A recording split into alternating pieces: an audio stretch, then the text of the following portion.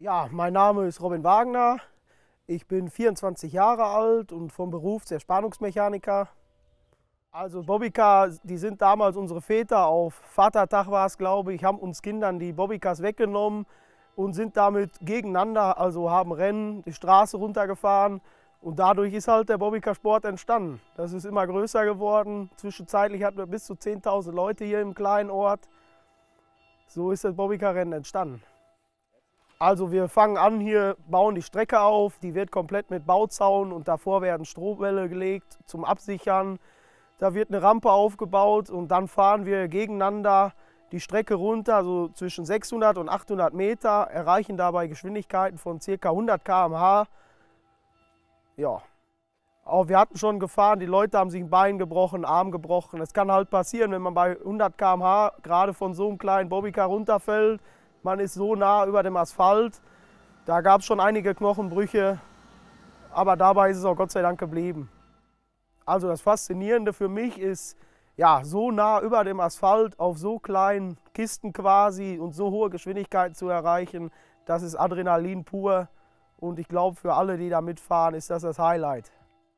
Ja, durch, durch das Bobbycar haben wir halt hier ein komplettes äh, Zentrum damals erworben, haben das komplett hochgewirtschaftet, wo hier früher gar nichts war. Da gibt es jetzt hier ein Jugendtreff, eine Bobbycar-Werkstatt, einen großen Platz für Events und alles. Dadurch ist Mut mit hier reingekommen, mit ihren Theaterveranstaltungen und sowas. Alles durch dieses kleine Rennen, was damals angefangen hat, sind wir mittlerweile so groß rausgekommen. Ja, die Leute haben halt sowas vorher noch nie gesehen und die wollten alle hier nach Silberg. Wir waren in so vielen Fernsehsendungen, die wurde immer mehr publik gemacht und wir hatten zwischenzeitlich bis 10.000 Leute hier im kleinen Ort. Da wusste man gar nicht mehr, wo man noch einen Fuß hinsetzen sollte. So voll war es hier. Ja, wir finanziell klar mit unseren Sponsoren, die wir hier mit unseren Fördergeldern, unser Hauptsponsor Krombacher, die haben sehr viel hier reingesteckt. Und klar, die Leute, die hier waren, die haben natürlich auch immer Geld hier gelassen. Allerdings ist das nicht an uns gegangen, weil wir alles ehrenamtlich machen, sondern ist alles hier reingeflossen. Da hat nie einer einen Cent von uns für gekriegt. Also ich bin der Geschäftsführer hier des Schrabbengutes. Wir haben vor vier Jahren den Club übernommen, von unseren Vätern auch. Ich bin hier für die Sponsorenbetreuung zuständig, für Eventplanung, für unsere kleinen Veranstaltungen, die wir so machen. Klar, für die Bobbycars bauen, das gehört alles so mit dabei.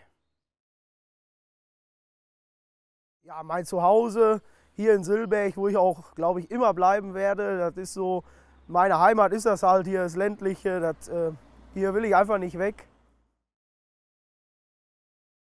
Gerade hier in äh, Silberg ist das für mich, wenn ich mit 24 Jahren mit einem, der 70 Jahre ist, an der Theke sitze und mir abends ein Bierchen trinke. Ich denke, das gibt es in keiner Stadt. Das ist gerade hier der Zusammenhalt. Das macht das hier für mich sehr lebenswert. Ich bin eigentlich eher, weiß ich nicht,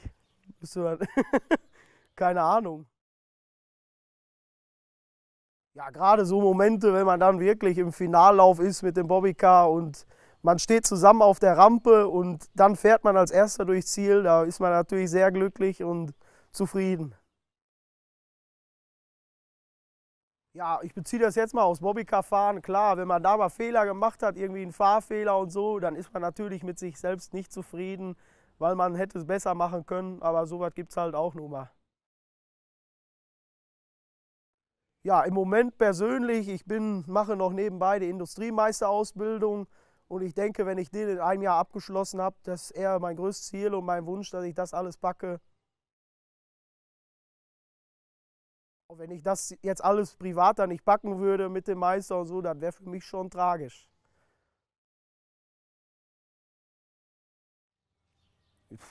Was soll man da verändern?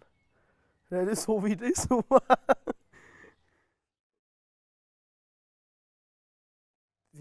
Wer soll das erschaffen haben?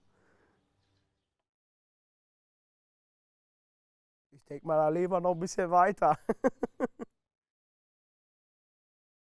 ja, die ist äh, schon ein bisschen bekloppt mit dem, was die alles macht, aber das zieht die Leute hier an und wir haben hier immer volles Haus.